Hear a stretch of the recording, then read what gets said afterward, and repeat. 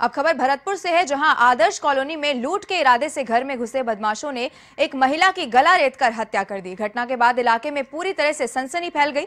तो वहीं सूचना के बाद पहुँची पुलिस ने मौका मुआयना कर जाँच शुरू की और पुलिस के मुताबिक मृतका मिथिलेश देवी अपनी सहेली के घर से लौटकर आई थी और उसके थोड़ी देर बाद ही महिला की गला रेतकर हत्या करने की सूचना मिली।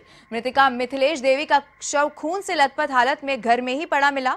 वहीं घर के अलमारी का भी सामान बाहर बिखरा पड़ा था। परिजनों के मुताबिक मुताबिक अलमारी में सोने चांदी के जेवरात और नकदी रखी हुई थी, जिनको बदमाश लूट कर ले गए हैं। वहीं दूसरी ओर शहर में दिन दहाड़े हुए इस मर्डर की घटना के बाद लोगों में गुस्सा व्याप्त है।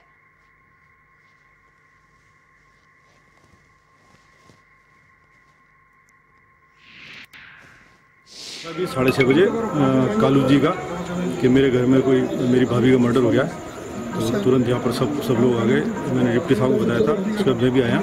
मौका देख रहा हूँ। अभी हमने फैसिलिटी टीम को बुलाया डॉग स्पॉट को बुलाया, मौका देख के।